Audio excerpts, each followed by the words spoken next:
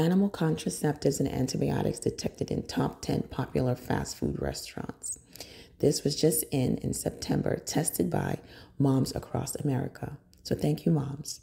Three antibiotics and oral contraceptives were detected Monensin, Narasin, and nicarbazine. And although they were below the FDA acceptable daily intake, some people are eating this almost on a daily basis. The issue is the accumulation in the body and a source for chronic toxicity. Monensin was detected in Taco Bell, Dunkin' Donuts, Wendy's, Domino's, Burger King, and McDonald's. This increased risk of antibiotic resistance, but also gut, gut health, which is the source of a lot of diseases.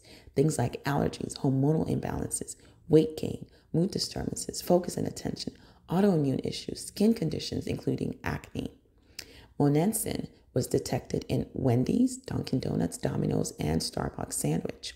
This disturbs the balance of ions in cells. So think about things like acidity, pH imbalances, so the cells don't work as well and increased risk for accumulating toxins as well.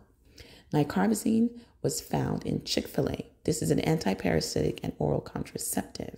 Think about infertility problems that are on the rise, reproductive health that is the current generation is facing, things like hormonal imbalances with estrogen and testosterone levels.